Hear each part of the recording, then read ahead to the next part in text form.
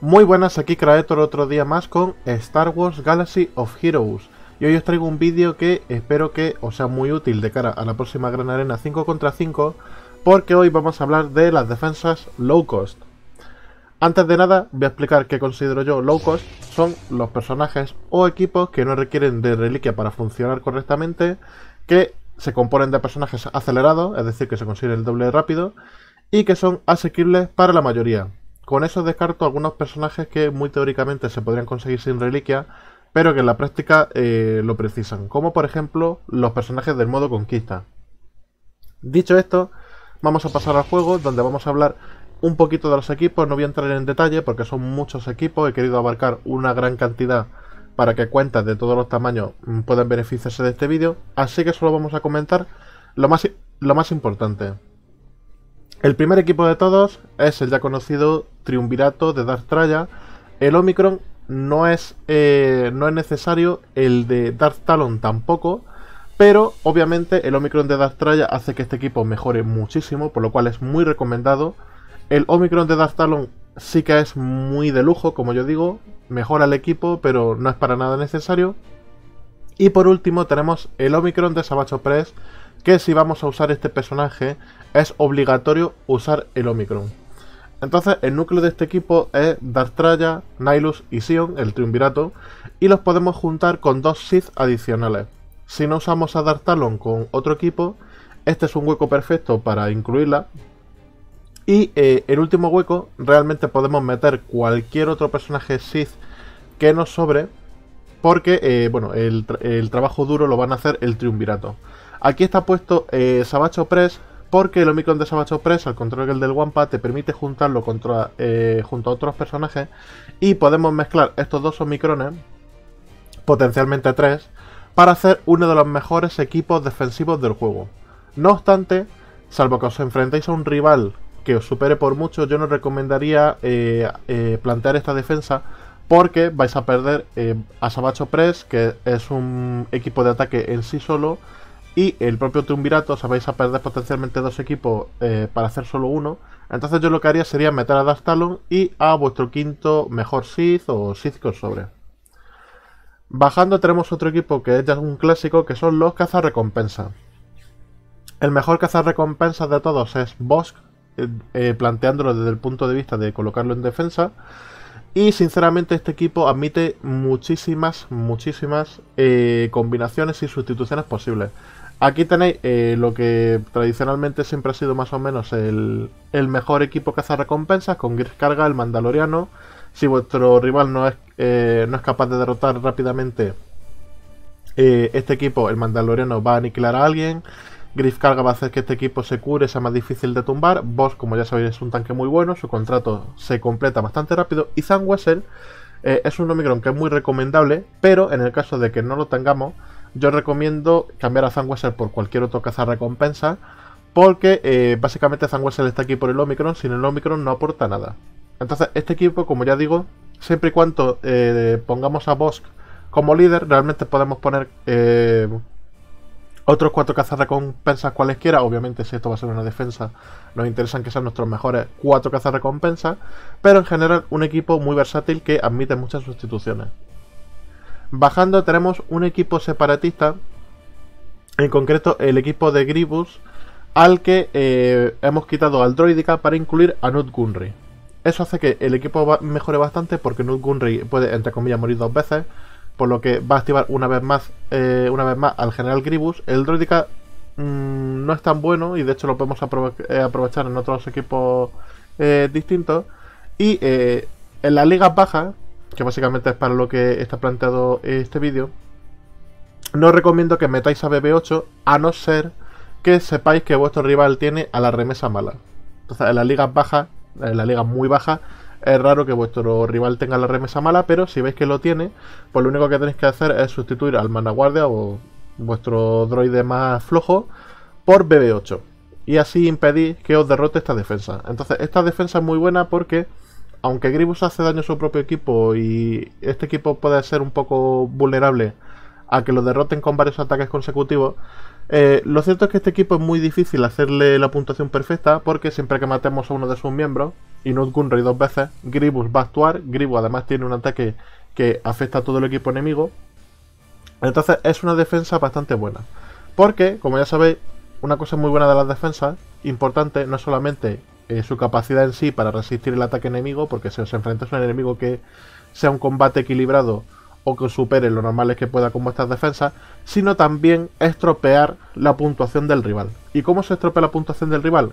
Construyendo defensas que ataquen primero, que bajen la vida de, eh, del rival, que se aseguren de que no puede hacer un combate perfecto, de que se lleven un personaje por delante, y Gribus precisamente hace esto. Otro equipo que también hace esto y que es ya un clásico y que funciona muy bien son los rebeldes con el comandante Luke Skywalker.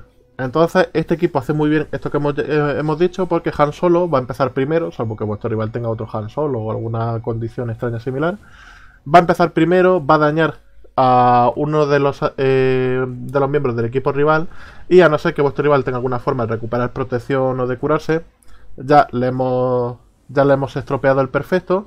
Y bueno, este equipo, aparte de eso, obviamente, es muy rápido, hace mucho daño es muy difícil de tumbar, es muy bueno en ataque, así que yo recomiendo que lo penséis un poquito si lo necesitáis para atacar o no, antes de colocarlo en defensa, porque este equipo es muy versátil y muy bueno. Además, eh, admite alguna sustitución, si no tenéis por ejemplo a C3PO y Chiwi, eh, que suele ser el que más falta al principio, lo podéis sustituir por vuestro mejor personaje rebelde, pero lo suyo es que no lo sustituyáis, que uséis a estos 5 porque eh, se nota mucho la sustitución en este equipo si hacemos sustituciones, la verdad es que el equipo se resiente mucho.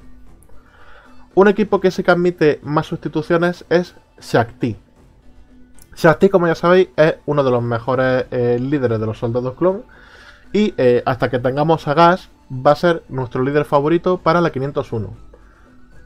Entonces, de hecho, hemos, eh, en este equipo tenemos a la 501 acompañando a Shakti. Entonces, este equipo, como ya sabéis, tiene bastante aguante, tiene bastante resistencia y formas de curarse gracias a, Shakti, por lo que es una defensa bastante buena. Además, admite bastantes sustituciones porque si queréis usar a vuestra, eh, a vuestra remesa mala en defensa, una forma de hacerlo es poniendo a Shakti de líder, porque normalmente no es una defensa muy buena la remesa mala. Yo igualmente os recomiendo que guardéis la remesa mala para atacar, pero eh, pues es un dato importante a tener en cuenta por si os vierais en la necesidad. Y aquí tenemos otro equipo en el que podemos usar a Dastalon, que es el Imperio Sith. Entonces, el Imperio Sith, como ya sabéis, el objetivo es tener a Malgus en el futuro, pero para empezar, podemos usar el equipo Sith tradicional, que es Darrevan, Malak, eh, Bastilasan, el Merodeador, y en el caso de que no tengamos a Darth Talon, podemos usar perfectamente a HK-47 o al Soldado Sith. El Soldado Sith, el, el que provoca, que tienen... La verdad es que tienen unos nombres parecidos, os lo voy a enseñar un segundo por si acaso. Me refiero a este de aquí. No al soldado Sith rojo, me refiero a este, el soldado imperial Sith.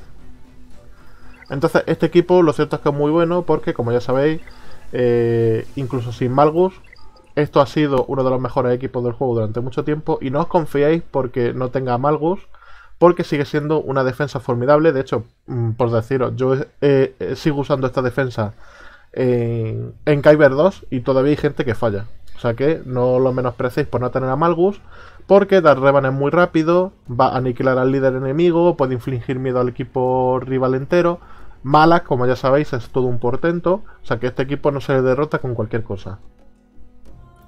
Y un equipo que, aunque es vulnerable a un ataque muy común, sigue siendo un equipo muy bueno, es Aiden Versio. Entonces, Aiden Versio, eh, como ya sabéis, admite bastantes sustituciones, pero tienen que ser siempre soldados imperiales que no sean eh, ni líderes ni droides. O sea que no podéis usar al soldado oscuro y tampoco podéis usar a Piet. Por favor no uséis eh, al soldado oscuro porque parece que la parte de no usar los líderes la gente la ha costado bastante bien. Pero veo mucha gente que intenta meter al soldado oscuro y si metéis al soldado oscuro básicamente os cargáis el equipo. Entonces esta es una de las configuraciones, en mi opinión la configuración más óptima de Inversio. Si vuestro rival veis que tiene el Wampa, que eh, suele ser la principal debilidad de Inversio como equipo de defensa, que también es muy buena atacando. Eh, yo recomiendo que sustituyáis uno de los soldados imperiales, el que más flojo tengáis, por el piloto Tai. El piloto type potencialmente va, a hacer que vuestro rival se confíe, usa Wampa contra Aida Inversio y fracase. Entonces Aida Inversio, como ya sabéis, es un equipo defensivo muy bueno porque Aida Inversio siempre, eh, siempre empieza primero, es un equipo que es muy difícil de, derrotar, es un equipo que funciona con muy poco equipo, que por eso lo recomiendo. El Omicron de Aida Inversio, aunque es muy recomendable, es muy recomendable. Lo cierto es que no es necesario, si no lo tenéis no pasa nada, el equipo va a seguir funcionando igual, pero si lo tenéis eh, si tenéis los materiales, la verdad es que es un buen Omicron. Y bajando tenemos un equipo que durante mucho tiempo ha estado de las mejores defensas, pero que por fin, eh, con sorte acelerada, ya podemos considerarla una defensa low cost, que es Sorti y Droides. Este, em, este equipo lo cierto es que admite muchísimas sustituciones. Aquí podéis, eh, podéis poner casi cualquier droide no, no, separatista y el equipo va a funcionar. Aunque en algunos casos, incluso con un droide separatista de por medio, el equipo sigue funcionando bastante bien. Y este equipo funciona muy bien en defensa porque, sinceramente, la mayoría de las personas no sabe cómo funciona este equipo. A mí muchas veces me pasa esto, que eh, las pocas veces que me lo he encontrado he tenido que mirar qué hacía. Y eso da una ventaja que no hay que subestimar. Además, pues tienen un revivir que no se puede prevenir. Podéis usar eh, todos estos droides. Que yo he construido este equipo basándome en los droides que a mí personalmente y probablemente en el futuro a vosotros o se os, van a quedar sin equipo, os van a quedar sueltos. Y eh, pues suerte la verdad es que es un equipo que funciona especialmente bien en defensa, los números así lo indican, y si podéis montar este equipo no os vais a arrepentir. Un equipo que funciona muy bien en defensa, pero que tenéis que tener mucho cuidado conforme avancéis en las ligas, son los Genosianos. Los Genosianos, eh, como ya sabéis, es un equipo muy bueno, que de hecho ahora son el terror de las guerras territoriales, y que en Gran Arena también funciona muy bien. Entonces, este equipo es el típico equipo que eh, si tu rival tiene los personajes correctos, eh, no le va a costar derrotarlo, pero si no tiene esos personajes, este equipo se le va a atragantar muchísimo. Porque este equipo tiene un tanque que resucita que siempre está provocando, los, eh, ecualizan vida a los cinco, bueno, los seis técnicamente personajes todo el rato, por lo que es un equipo muy molesto. Entonces yo recomiendo esta clase de equipos, los equipos que precisan de ciertos personajes en concreto y si no son muy difíciles de derrotar, siempre dejarlos atrás. Con la idea de que vuestro eh, rival gaste estos personajes antes de eh, llegar a, estos equipos. Entonces, por ejemplo, si ponemos de Inversio detrás, es más probable que vuestro rival use el Wampa en el frente y cuando se encuentra Inversio, pues ya no tenga el Wampa. En el caso de los genosianos, pues eh, nos referimos a Vader, Traya, son los equipos que siempre han hecho tradicionalmente mucho counter a, los genosianos. Y aquí tenemos otro equipo que eh, no requiere de Omicron, no requiere de Omicron, aunque yo eh, tampoco lo recomendaría el Omicron en este caso, pero esta es una defensa que sinceramente es bastante útil cuando estamos empezando. Esta es una defensa que yo recomiendo cambiar, no recomiendo que la dejéis estática ni por asomo, pero cuando estamos empezando es bastante normal que tengamos que construir un escuadrón de Ewoks para conseguir a C3PO, que C3PO como ya sabía de los mejores eh, personajes del juego. de hecho, una parte muy importante del equipo que hemos visto arriba de eh, el comandante Luke Skywalker.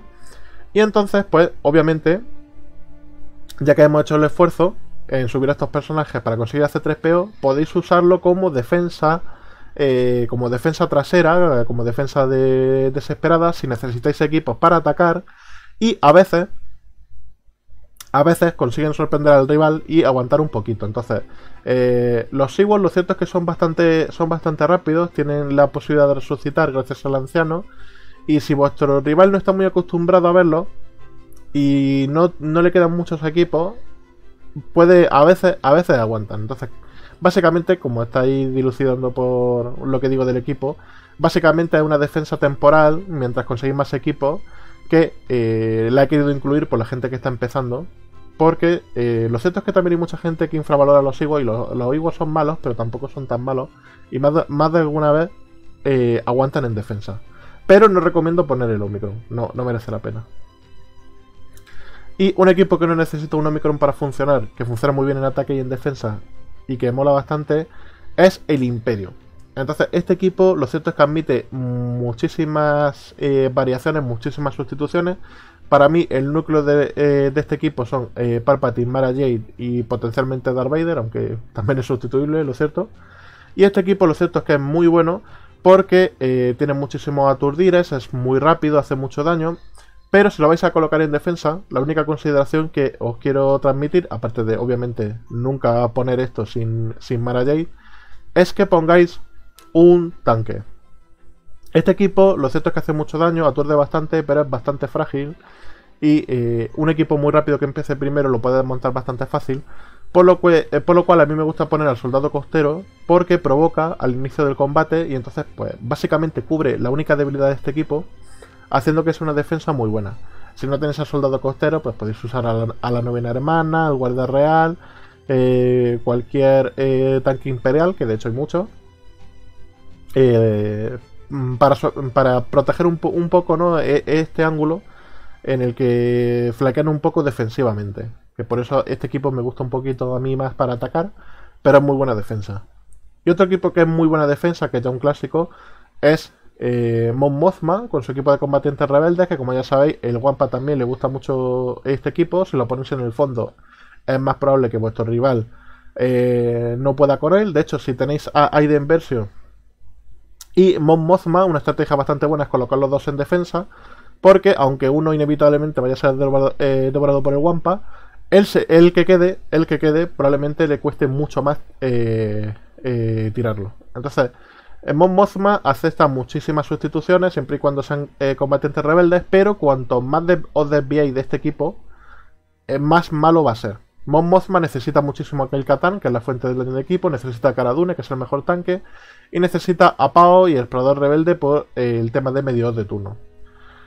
Lo normal, desgraciadamente, entre los que yo me incluyo, es usar eh, a Wedge y Beast y otros combatientes rebeldes que son requisitos para, eh, para no farmear a estos personajes que no, no son muy atractivos, pero que si vais a usar este equipo yo os recomiendo mucho porque cambia muchísimo la eficiencia del equipo. O sea, tener a Pao, eh, etcétera, etcétera, representa una mejora brutal. Brutal, no parece el mismo equipo. Por eso mucha gente cuando usa por primera vez Mon Mothma con Beast y Wedge se lleva un poco una decepción pensando que el equipo era mejor. Pero es que este equipo necesita realmente tener estos personajes, aunque técnicamente acepte eh, sustituciones.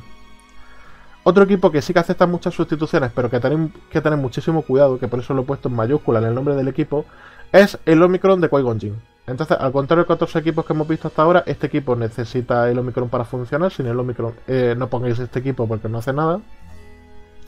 Y la estrategia de este equipo en defensa es que obviamente hasta que muera Qui-Gon nadie puede morirse y en el caso de que muriese pues Anakin debería explotar y llevarse por delante el equipo rival.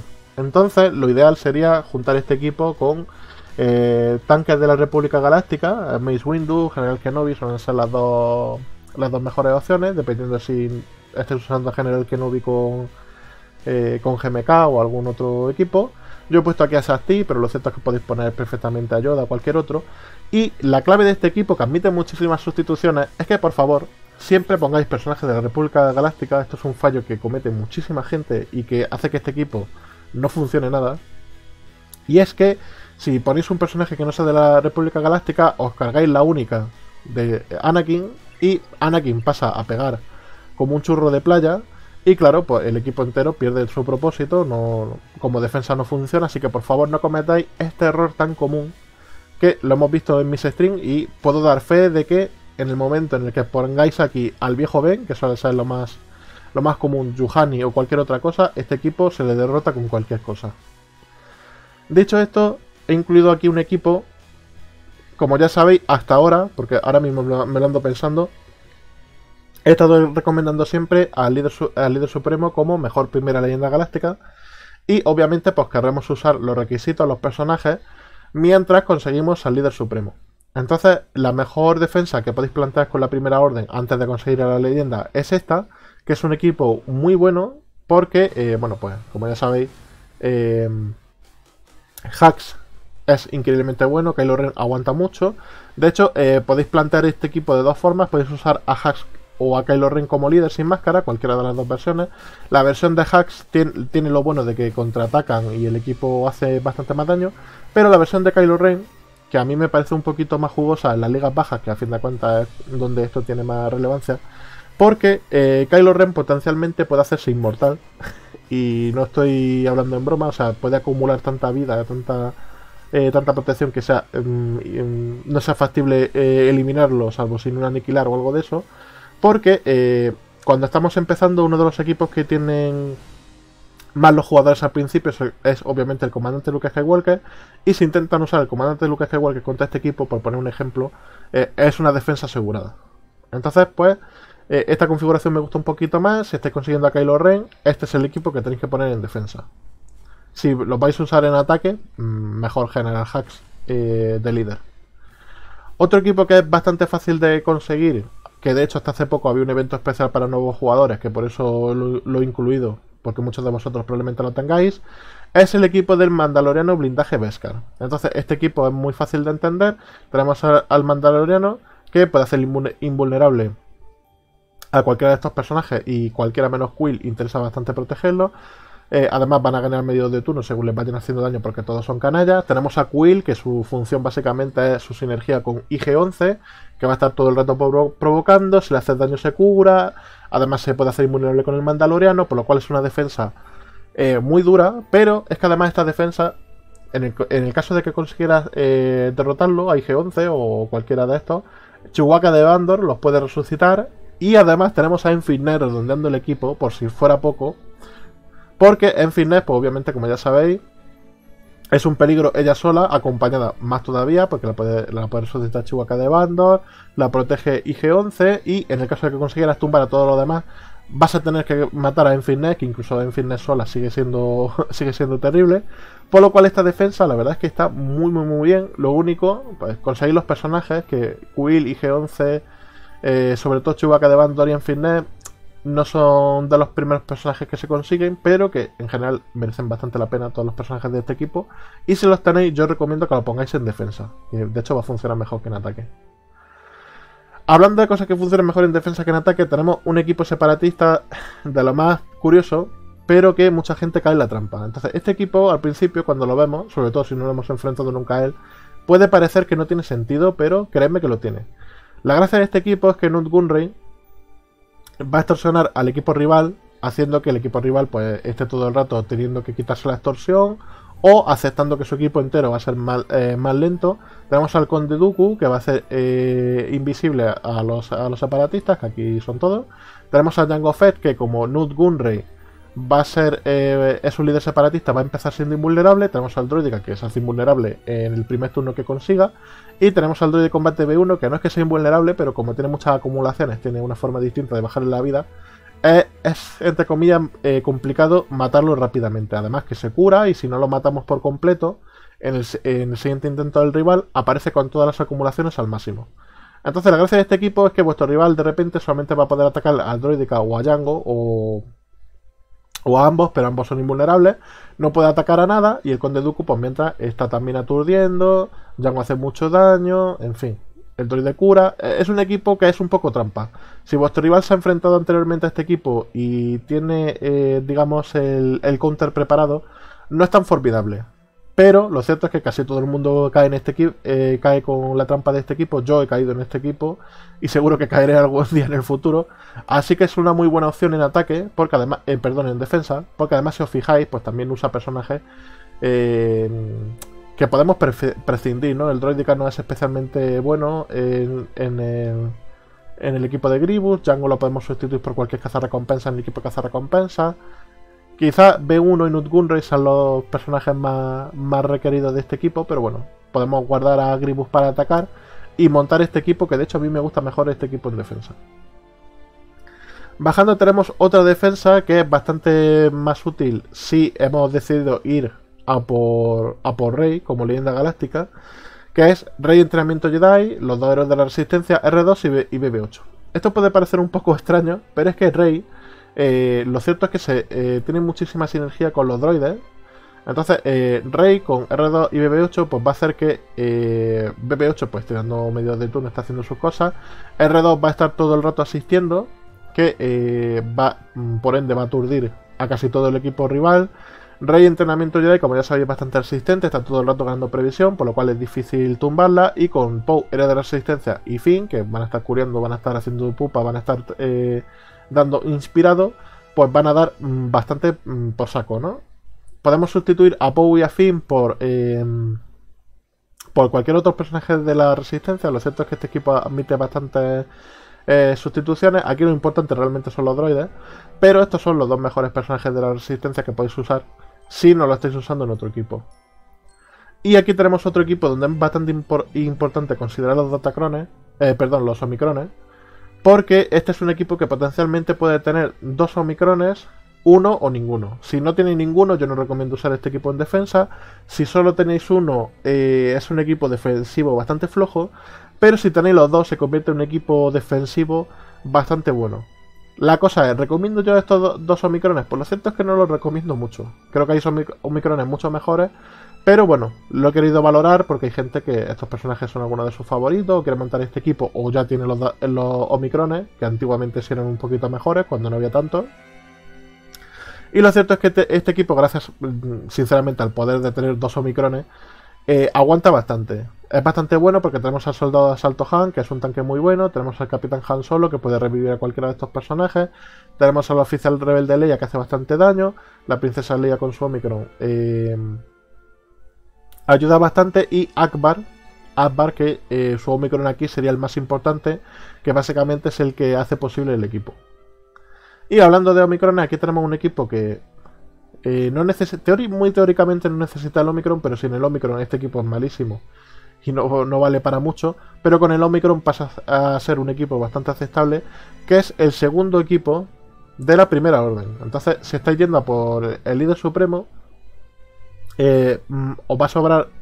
Eh, si ponéis este Omicron, vais a poder usar la segunda parte de los requisitos. De hecho, si veis, aquí no hay ningún personaje que lo estuviéramos usando en el equipo de arriba para plantear un segundo equipo defensivo o otro equipo de ataque que a mí personalmente me gusta eh, en ambos sentidos, está bastante bien. Pero cuando estamos empezando, pues probablemente sea mejor tener un defensa. Y lo cierto es que este, este equipo, eh, gracias a los micros del piloto Tai, es bastante bueno porque van a estar todo el rato ganando previsión. Mm, va a hacer que este equipo sea bastante más difícil de derrotar. Entonces, eh, este Omicron si podéis, eh, o sea, si queréis, si os veis la necesidad, lo podéis juntar con el equipo de arriba. Lo cierto es que este Omicron no se desactiva, salvo que incluyamos al líder supremo. Pero yo creo que es mejor tener dos equipos antes que tener uno un poquito más potente. Y hablando de, micro, de Omicrones, tenemos uno que es muy recomendado dependiendo de cómo lo usemos. Tenemos aquí a Dash Render con los personajes de eh, la película de Solo. Entonces, Dash Render tiene un Omicron que es a la vez muy recomendable y a la vez no hace nada. Porque eh, el Omicron lo que hace es que los personajes eh, no pueden perder preparados. Si lo pierden, lo vuelven a obtener automáticamente. La cosa es que los únicos personajes que se benefician de este Omicron son los personajes de la película de Solo, que no tienen su. No tienen su propio. No tienen su propia categoría. Pero básicamente son estos y, Kira. Y entonces, si no vais a usar Hadas, eh, Render con estos personajes, este Omicron no lo recomiendo en absoluto. Pero si lo vais a usar con estos personajes, este Omicron es súper recomendable. Entonces, eh, el equipo no necesita el Omicron de Dash Render para funcionar las cosas como son, pero si lo tenéis, es muy recomendable. Entonces, este equipo es muy bueno porque Dash Render, como ya sabéis, aturde y es el personaje de apoyo que más daño hace del juego. En Fitness, como ya sabéis, va su, eh, va, su, va su bola, es prácticamente inmatable, es muy difícil de, de quitar de en medio y hace un mogollón de daño.